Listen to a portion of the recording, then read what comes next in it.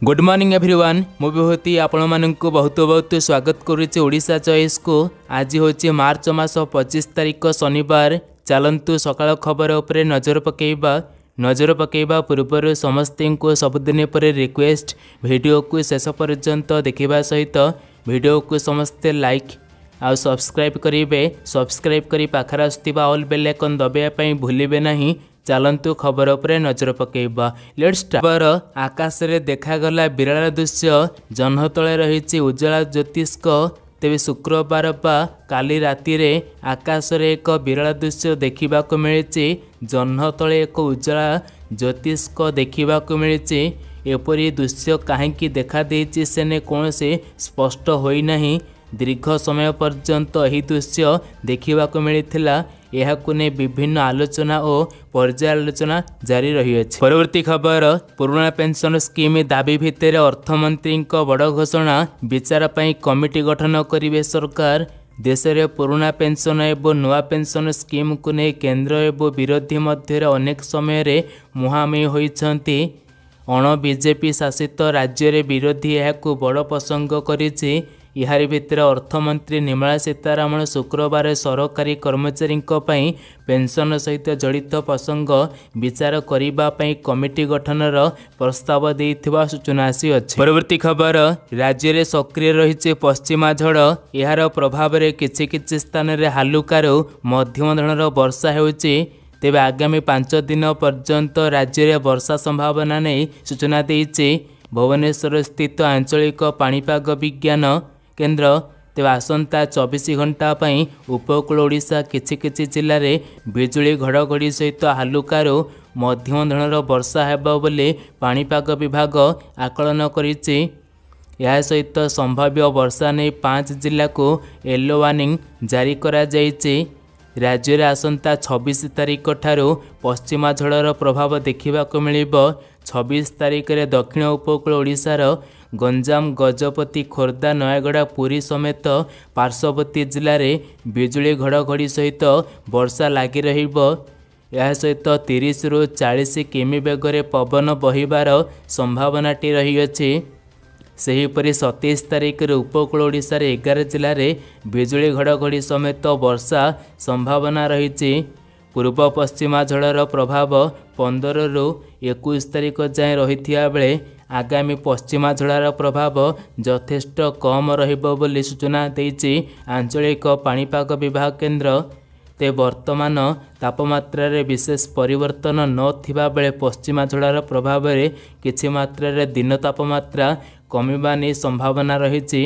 ଏ ବର୍ଷା ଅଛି ଚାରି ତାରିଖ ପର୍ଯ୍ୟନ୍ତ। ପରବର୍ତ୍ତୀ ଖବର ଏକାଠି ହେଲେ ଚଉଦ ବିରୋଧୀ ଦଳ ଇଡି ଓ ସିବିଆଇର ଦୁରୁପଯୋଗ ନେଇ ସୁପ୍ରିମକୋର୍ଟରେ ଦାଖଲ କଲେ ପିଟିସନ୍। ଇଡି ଏବଂ ସିବିଆଇର ଦୁରୁପଯୋଗ ନେଇ ଚଉଦ ବିରୋଧୀ ଦଳ ସୁପ୍ରିମକୋର୍ଟରେ ପିଟିସନ୍ ଦାଖଲ କରିଛନ୍ତି। ଏହି ଆବେଦନରେ ଚଢ଼ାଉ ଓ ଗିରଫ ଗାଇଡ଼ଲାଇନ୍ ଦାବି କରାଯାଇଛି। ଏହି ମାମଲା ଉପରେ ଶୁଣାଣି କରିବାକୁ ସର୍ବୋଚ୍ଚ ନ୍ୟାୟାଳୟ ଏପ୍ରିଲ ପାଞ୍ଚ ତାରିଖ ଧାର୍ଯ୍ୟ କରିଛନ୍ତି। ପରବର୍ତ୍ତୀ ଖବର ମଦ୍ୟପ ଗାଡ଼ି ଚାଳକଙ୍କ ଉପରେ ଧରପଗଡ଼ ଅଭିଯାନ ପରିବହନ ବିଭାଗର କାର୍ଯ୍ୟାନୁଷ୍ଠାନ ଆରମ୍ଭ। ତେବେ ଗତକାଲି ଗୋଟିଏ ଦିନରେ ଦୁଇଶହ ଅଠଷଠି ମଦ୍ୟପକ ଗାଡ଼ି ଚାଳକ ଗିରଫ କରାଯାଇଛି। ଗତ ବର୍ଷଠାରୁ ଆଜି ପର୍ଯ୍ୟନ୍ତ ଉଣେଇଶ ହଜାର ତିନିଶହ ଅଠର ଜଣ ଗାଡ଼ି ଚାଳକଙ୍କ ଉପରେ କାର୍ଯ୍ୟାନୁଷ୍ଠାନ ଗ୍ରହଣ କରାଯାଇଥିବା ସୂଚନା ଆସିଅଛି। ପରବର୍ତ୍ତୀ ଖବର ମାର୍ଚ୍ଚ ମାସ ଶେଷ ହେବାକୁ ଯାଉଛି ଏପ୍ରିଲ ମାସ ଆସିବାକୁ ଯାଉଛି ଏକ ତାରିଖରୁ ଲାଗୁ ହେବ ନୂଆ ନିୟମ। ଜାଣନ୍ତୁ ମାର୍ଚ୍ଚ ମାସ ଶେଷରେ ଚଳିତ ଦୁଇହଜାର ତେଇଶ ଆର୍ଥିକ ବର୍ଷ ସମାପ୍ତ ହେବାକୁ ଯାଉଛି। ଏଣୁ ଚଳିତ ମାସ ହେଉଛି ସମସ୍ତ ସେକ୍ଟର ପାଇଁ ଏକ ଗୁରୁତ୍ୱପୂର୍ଣ୍ଣ ମାସ। କାରଣ ଚଳିତ ବର୍ଷର ବାକି ଥିବା କାମଗୁଡ଼ିକ ଏହି ମାସ ଶେଷ କରିବାକୁ ପଡ଼ିଥାଏ। ଏହାପରେ ଏପ୍ରିଲ ମାସରୁ ପୁଣି ନୂଆ ଆର୍ଥିକ ବର୍ଷ ଆରମ୍ଭ ହେଉଥିବାରୁ ବିଭିନ୍ନ ନିୟମର ପରିବର୍ତ୍ତନ ହୋଇଥାଏ।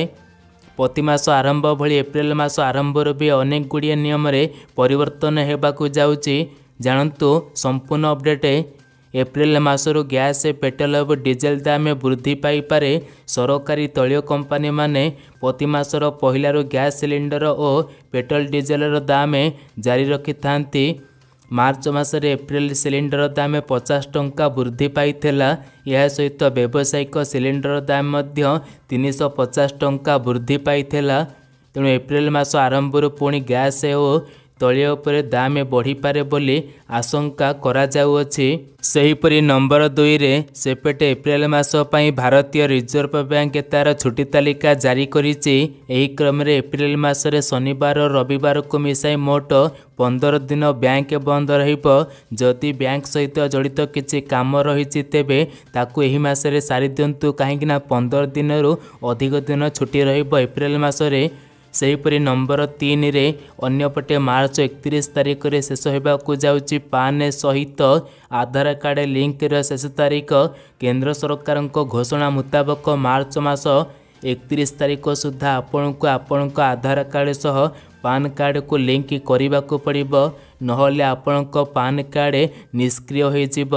ନମ୍ବର ଚାରିରେ କେବଳ ସେତିକି ନୁହେଁ ସୁନା ଗହଣା ଉପରେ ମଧ୍ୟ ଏପ୍ରିଲ ପହିଲାରୁ ନୂଆ ନିୟମ ଲାଗୁ ହେବାକୁ ଯାଉଛି। ଉପଭୋକ୍ତା ମନ୍ତ୍ରାଳୟ ତରଫରୁ ସୁନା ଗହଣାର ବିକ୍ରୟ କ୍ରୟ ଉପରେ ଏପ୍ରିଲ ପହିଲାରୁ ନୂଆ ନିୟମ ଲାଗୁ ହେବାକୁ ଯାଉଛି।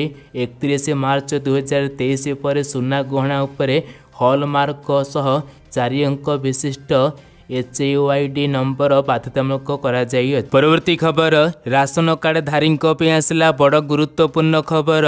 ଯଦି ଆପଣଙ୍କ ପାଖରେ ରାସନ କାର୍ଡ଼ ଅଛି ଓ ଆପଣ ପ୍ରତି ମାସରେ ସରକାରଙ୍କ ଠାରୁ ମାଗଣା ରାସନ ନେଉଛନ୍ତି ତେବେ ଆପଣମାନଙ୍କ ପାଇଁ ଆସିଛି ଏକ ବଡ଼ ଅପଡ଼େଟ୍।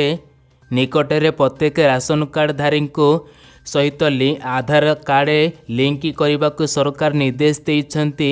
ଏଥିପାଇଁ ଏକତିରିଶ ମାର୍ଚ୍ଚ ଦୁଇହଜାର ତେଇଶ ଶେଷ ତାରିଖ ଥିଲା। ବର୍ତ୍ତମାନ ଆଧାର ଏବଂ ରାସନ କାର୍ଡ଼କୁ ଲିଙ୍କ କରିବାର ତାରିଖ ତିରିଶ ଜୁନ ଦୁଇହଜାର ତେଇଶ ପର୍ଯ୍ୟନ୍ତ ବୃଦ୍ଧି କରାଯାଇଛି। ଏହି ତାରିଖ ପର୍ଯ୍ୟନ୍ତ ଆପଣ ଉଭୟଙ୍କୁ ଲିଙ୍କ କରି ମାଗଣା ରାସନର ଫାଇଦା ଦୀର୍ଘ ସମୟ ପର୍ଯ୍ୟନ୍ତ ଉଠାଇ ପାରିବେ। ଖାଦ୍ୟ ଏବଂ ସାର୍ବଜନିକ ବିତରଣ ବିଭାଗ ମଧ୍ୟ ଆଧାର ଏବଂ ରାସନ କାର୍ଡ଼କୁ ଲିଙ୍କ କରିବାର ତାରିଖ ବଢ଼ାଇବାକୁ ବିଜ୍ଞପ୍ତି ଜାରି କରିଛି। ଆଧାର ରାସନ କାର୍ଡ଼ ଲିଙ୍କ ପାଇଁ ଶେଷ ତାରିଖ ତିରିଶ ଜୁନ୍ କରିଦେଇଛନ୍ତି କେନ୍ଦ୍ର ସରକାର। ସରକାରଙ୍କ ବିଶ୍ୱାସ ରହିଛି ଯେ ରାସନ କାର୍ଡ଼ ଏବଂ ଆଧାର କାର୍ଡ଼ ଲିଙ୍କ କରିବା ଦ୍ୱାରା ଗରିବ ଲୋକଙ୍କୁ ରାସନ ମିଳୁଛି କି ନାହିଁ ଜାଣିବା ଆହୁରି ସହଜ ହୋଇପାରିବ। ଏବେ ରାସନ କାର୍ଡ଼ଧାରୀଙ୍କ ପାଇଁ ଆସିଛି ଖୁସି ଖବର। ଯେଉଁ ସବୁ ବ୍ୟକ୍ତିମାନେ ରାସନ କାର୍ଡ଼ରେ ନାମ ଯୋଡ଼ିବା ପାଇଁ କିମ୍ବା ଏପର୍ଯ୍ୟନ୍ତ ନୂଆ ରାସନ କାର୍ଡ଼ ପାଇନାହାନ୍ତି କିମ୍ବା ରାସନ କାର୍ଡ଼ରେ ଆପଣଙ୍କ ଆଧାର ଲିଙ୍କ ହୋଇନାହିଁ ସେମାନେ ଲିଙ୍କ କରିପାରିବେ। ପରବର୍ତ୍ତୀ ଖବର ପୁଣି ବଢ଼ିଲା ସୁନା ଦର। ଆଜି ଓଡ଼ିଶାର ରାଜଧାନୀ ଭୁବନେଶ୍ୱରରେ ବାଇଶ ଓ ଚବିଶ କ୍ୟାରେଟ୍ ସୁନା ଦଶ ଗ୍ରାମକୁ ଚଉବନ ହଜାର ଆଠଶହ ଅଣଷଠି ହଜାର ସାତଶହ ଅଶୀ ଟଙ୍କା ରହିଅଛି। ପରବର୍ତ୍ତୀ ଖବର ଏପ୍ରିଲ କୋଡ଼ିଏରେ ବର୍ଷର ପ୍ରଥମ ସୂର୍ଯ୍ୟପରାଗ ଆସନ୍ତା ମାସରେ ଲାଗିବ ବର୍ଷର ପ୍ରଥମ ସୂର୍ଯ୍ୟପରାଗ ଯାହାକି ମାତ୍ର କିଛି ସମୟ ବାକି ଅଛି। ତେବେ ଆଜି ଜାଣନ୍ତୁ ଏହି ପରାଗ ଭାରତରେ କେଉଁ ସମୟରୁ ଆରମ୍ଭ ହେବ ଏହା ସହ ଲୋକଙ୍କ ଉପରେ ଏହାର କ'ଣ ପ୍ରଭାବ ପଡ଼ିବ ସବୁଠୁ ଜରୁରୀ ଏହି ସମୟରେ କିଛି କାମକୁ କରିବାକୁ ବାରଣ କରାଯାଇଛି। ପ୍ରତିବର୍ଷ ଲାଗୁଥିବା ଗ୍ରହଣର ପ୍ରଭାବ ସମସ୍ତ ବାରଟି ରାଶିର ଜାତକଙ୍କ ଜୀବନରେ ଦେଖିବାକୁ ମିଳେ। ଚଳିତ ଥର ଦୁଇହଜାର ତେଇଶ ବର୍ଷରେ ମୋଟ ଚାରୋଟି ଗ୍ରହଣ ଲାଗିବ। ସେଥିମଧ୍ୟରୁ ଦୁଇଟି ସୂର୍ଯ୍ୟପରାଗ ଓ ଦୁଇଟି ଚନ୍ଦ୍ରଗ୍ରହଣ ସାମିଲ ଅଛି। ବର୍ଷର ପ୍ରଥମ ସୂର୍ଯ୍ୟପରାଗ ଏପ୍ରିଲ କୋଡ଼ିଏରେ ଲାଗିବ।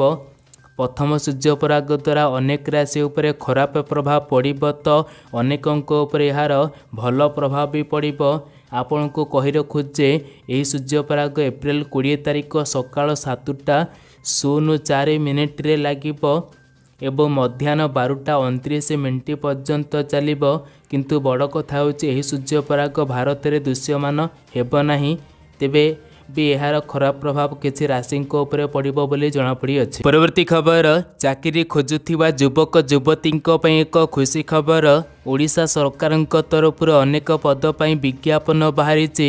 ପଞ୍ଚାୟତ ସମିତି ଅଫିସ ମୟୂରଭଞ୍ଜ ତରଫରୁ ବ୍ୟାଙ୍କ ମିତ୍ର CRP CM master book keeper ଆଦି ପଦରେ ନିଯୁକ୍ତି ଦିଆଯିବ। ଇଚ୍ଛୁକ ପ୍ରାର୍ଥୀମାନେ ଅଫିସିଆଲ ୱେବସାଇଟ୍ ଭିଜିଟ୍ କରି ନୋଟିଫିକେସନ୍ ଲିଙ୍କକୁ ଯାଇ ସବିଶେଷ ତଥ୍ୟ ପାଇପାରିବେ। ପରବର୍ତ୍ତୀ ଖବର ପୋଲିସର ତଦନ୍ତକୁ ନେଇ ପ୍ରଶ୍ନ ଉଠାଇଲେ ଆଜେଶଙ୍କ ମା କହିଲେ ତଦନ୍ତ ଚାପିବାକୁ ହେଉଛି ହୀନ ଉଦ୍ୟମ ନ୍ୟାୟ ନ ମିଳିଲେ କରିବେ ଆତ୍ମହତ୍ୟା। ହ୍ୱାଟ୍ସଆପ୍ ଗ୍ରୁପକୁ ନେଇ ପ୍ରଶ୍ନ ଉଠାଇଛନ୍ତି ଆଜେଶଙ୍କ ମା କହିଲେ ଘଟଣାକୁ ଚାପି ଦେବା ପାଇଁ କରାଯାଇଛି ହୀନ ଉଦ୍ୟମ ଯେଉଁ ଯୁବତୀ ପାଇଁ ପୁଅ ମାରିଛି ତାର ପ୍ରମାଣ ଦିଆଯାଇଛି। ତେବେ ହ୍ୱାଟ୍ସଆପ୍ ଗ୍ରୁପର ପ୍ରମାଣ ପୋଲିସ ପାଖରେ ଅଛି କି ବୋଲି ସେ ପ୍ରଶ୍ନ କରିଛନ୍ତି। ପୋଲିସର ତଦନ୍ତକୁ ନେଇ ମଧ୍ୟ ସେ ପ୍ରଶ୍ନ ଉଠାଇଛନ୍ତି। ପରବର୍ତ୍ତୀ ଖବର ପୁଣି ମିଳିବ କିଷାନ ଯୋଜନା ଟଙ୍କା ଚଉଦତମ କିସ୍ତି। ସାରା ଦେଶର ଚାଷୀଙ୍କୁ ଫେବୃଆରୀରେ ପ୍ରଧାନମନ୍ତ୍ରୀ କିଷାନ ସମ୍ମାନ ନିଧି ଯୋଜନାର ତେରତମ କିସ୍ତି ଟଙ୍କା ମିଳିସାରିଛି। କିସ୍ତିର ଟଙ୍କା ଆକାଉଣ୍ଟକୁ ଆସିବା ପରେ ଚାଷୀମାନେ ଚଉଦତମ କିସ୍ତିକୁ ନେଇ ଚର୍ଚ୍ଚା ଆରମ୍ଭ କରିଦେଇଛନ୍ତି ଓ ତାହାର ଅପେକ୍ଷା କରିଛନ୍ତି କିନ୍ତୁ ଏହା ପୂର୍ବରୁ ପ୍ରଧାନମନ୍ତ୍ରୀ ଫସଲ ବୀମା ପୋର୍ଟାଲ ଅଧୀନରେ ଡିଜିପ୍ଲେମ୍ ଆପ୍ ଲଞ୍ଚ କରିଛନ୍ତି। କେନ୍ଦ୍ର କୃଷି ମନ୍ତ୍ରୀ ନରେନ୍ଦ୍ର ସିଂ ତୋମର ତେବେ ଡିଜି କ୍ଲେମ୍ ଆପ୍ ମାଧ୍ୟମରେ ଚାଷୀମାନେ ତୁରନ୍ତ ଫସଲ ବୀମା ଦାବି କରିବା ଏବଂ ଟଙ୍କା ଦାବି କରିବାକୁ ସୁବିଧା ପାଇବେ। ସରକାରଙ୍କ ପକ୍ଷରୁ ଜାରି ହୋଇଥିବା ବୟାନରେ କୁହାଯାଇଛି ଯେ ଏହି ସମୟରେ କୃଷିମନ୍ତ୍ରୀ ରାଜସ୍ଥାନ ଉତ୍ତରପ୍ରଦେଶ ହିମାଚଳ ପ୍ରଦେଶ ଛତିଶଗଡ଼ ଉତ୍ତରପ୍ରଦେଶ ଏବଂ ହରିୟାଣାର ବୀମାଭୁକ୍ତ କୃଷକମାନଙ୍କୁ ଏକ ବଟନରେ କ୍ଲିକ୍ କରି ଏକ କୋଟି ଦୁଇଶହ ଷାଠିଏ ଦଶମିକ ପଇଁତିରିଶ କୋଟି ଟଙ୍କାର ଦାବି କରାଯାଇଥିବା ବୀମା ଟ୍ରାନ୍ସଫର କରିଛନ୍ତି ଏବେ କୃଷକଙ୍କୁ ଏହି ପ୍ରକାର ସୁବିଧା ମିଳୁଥିବା ବେଳେ ଆଗକୁ ମିଳୁଛି କିଷାନ ଯୋଜନା ଟଙ୍କା ଚଉଦତମ କିସ୍ତି। ପରବର୍ତ୍ତୀ ଖବର କାଳିଆ ଯୋଜନା ଟଙ୍କା ମିଳିବ ତେବେ ଏପ୍ରିଲ ମାସ ବାଇଶ ତାରିଖ ଅକ୍ଷୟ ତୃତୀୟା ଦିନ କାଳିଆ ଯୋଜନା ଟଙ୍କା ମିଳିବ ସବୁ ଚାଷୀଙ୍କୁ ଏଥିପାଇଁ ଇ କେୱାଇସି କରିବା ପାଇଁ କୁହାଯାଇଅଛି। ପରବର୍ତ୍ତୀ ଖବର ବାର୍ଦ୍ଧକ୍ୟ ପାଉଥିବା ଲୋକଙ୍କ ପାଇଁ ଆସିଲା ବଡ଼ ଖୁସି ଖବର ବଢ଼ିଲା ବିଧବା ଏବଂ ବାର୍ଦ୍ଧକ୍ୟ ଭତ୍ତା ତେବେ ଏହାରି ଭିତରେ ବିଭିନ୍ନ ରାଜ୍ୟ ସରକାର ବାର୍ଦ୍ଧକ୍ୟ ଭତ୍ତା ବୃଦ୍ଧି କରିଥିବା ବେଳେ ଏବେ ପୁଣି ବିଧବା ଏବଂ ବାର୍ଦ୍ଧକ୍ୟ ଭତ୍ତା ବୃଦ୍ଧି କରିଛନ୍ତି। ତେବେ ଓଡ଼ିଶାରେ ମଧ୍ୟ ପାଞ୍ଚଶହ ଟଙ୍କା ପାଉଥିବା ଲୋକମାନଙ୍କୁ ପୂର୍ବରୁ ନବୀନ ସରକାର ଘୋଷଣା କରିଥିବା ବେଳେ ପାଞ୍ଚଶହ ବଦଳରେ ସାତଶହ ପଚାଶ ସେହିପରି ସାତଶହ ପାଉଥିବା ଲୋକମାନଙ୍କୁ ନଅଶହ ନଅଶହ ପାଉଥିବା ଲୋକମାନଙ୍କୁ ହଜାର ଟଙ୍କା ପର୍ଯ୍ୟନ୍ତ ବାର୍ଦ୍ଧକ୍ୟ ଭତ୍ତା ବୃଦ୍ଧି ନେଇ ନବୀନ ସରକାର ଘୋଷଣା କରିଥିବା ବେଳେ ଏବେ ତାମିଲନାଡୁ ସରକାର ବିଧବା ଭତ୍ତା ଦୁଇ ହଜାର ଟଙ୍କାରୁ ପାଞ୍ଚଶହ ଟଙ୍କା ବୃଦ୍ଧି କରି ଏବେ ଅଢ଼େଇ ହଜାର ଟଙ୍କା ବୃଦ୍ଧି କରିଛନ୍ତି। ସେହିପରି କର୍ମଚାରୀମାନଙ୍କର ବେତନ ମଧ୍ୟ ବୃଦ୍ଧି ହୋଇଥିବା ବେଳେ ସେହିପରି ବିଭିନ୍ନ ରାଜ୍ୟ ସରକାର ବାର୍ଦ୍ଧକ୍ୟ ଭତ୍ତା ବୃଦ୍ଧି କରିଥିବା ବେଳେ ସୂଚନା ରହୁଅଛି କି ଏପ୍ରିଲ ଏବଂ ମେ ସୁଦ୍ଧା ବୃଦ୍ଧି ପାଇପାରେ ବୋଲି ଓଡ଼ିଶାର ଭତ୍ତା ସୂଚନା ଆସୁଅଛି। ବାସ୍ ଏହି ଥିଲା ଇନଫର୍ମେସନ୍ ଭିଡ଼ିଓଟି ଶେଷ ପର୍ଯ୍ୟନ୍ତ ଦେଖିଥିବାରୁ ବହୁତ ବହୁତ ଧନ୍ୟବାଦ।